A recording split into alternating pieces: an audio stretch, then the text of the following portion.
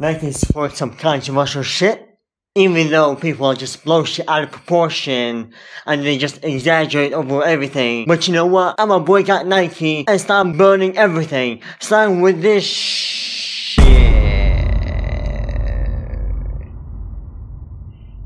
This wannabe bootleg rip-off looking ass trash ass don't stop supporting looking ass. Cause I'm too broke to buy some real Nike shit.